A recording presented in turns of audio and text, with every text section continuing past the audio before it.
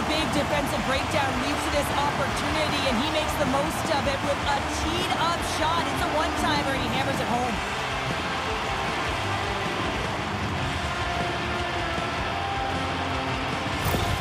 The Kings have to be feeling good about themselves. They have been pushing and pushing to start this one. James they're emotionally charged as they're at home, they're playing their opponent, and they started right from puck drop, and that emotion was transferred.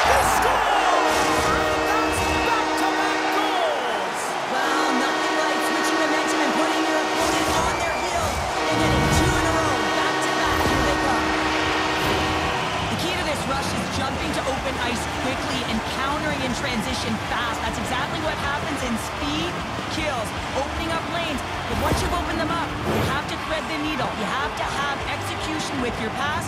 The receiver has to find a way to put it away. That's exactly what happens, and the shot is money.